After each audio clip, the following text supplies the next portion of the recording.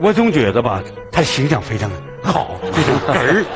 我总觉得对他戏不能断，我是对对。因为作为一个演员来说，我总想我老师活的活说这样一句话，对，站两头，站两头，再不就帅漂亮，再不就土话说东北话说磕碜。有特点，我们我没说你，没说你，没事，没事，那个这是咱的特点。他说漂亮帅的时候是冲着我说的，后来就翻回去就说你。我认为基本上就是这么个意思啊！对对对对，是吧？是。我谢谢你，谢谢，谢谢，都帮我解围了。但是我觉得确实是这样啊，铁儿大哥说的一点没错。所以我说，在人生的这个生活中，在这个艺术的这个这么多年的过程中。我觉得在我背后有很多让我甚至不知道的人，在默默的帮助帮助过我，是。啊啊，推荐过我，所以我经常有时候合作过很多导演。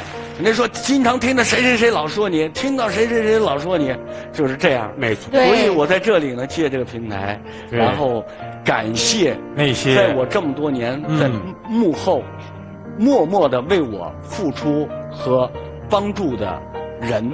啊！所有的谢谢大家，所有的人，嗯，谢谢大家。哎呀，还这么折腾呢，多好啊！多好啊！对对，而且我特别喜欢看铁人老师的戏，对对，他演戏太有风格了，对对，就你一看你就想看，接地气，就能爱接地气啊！我是属于进不了城的演员，谁说进不了城？你这个样子就应该在城里待着。不不不，我在村里村里村村里村里。对。哎。你们两个是不是铁人老师？还人家当时就是在剧团当演员吧？啊，对对对。你是不是原来就不是演员呀？对啊，我是一个业余积极分子嘛，文艺积极分子。嗯，在工厂的舞台上蹦跶蹦跶蹦跶到这儿来了啊。也就是说，当年您就是普通的一名工人，对吗？对，可以说我们俩都是北漂大军之一。对，北漂。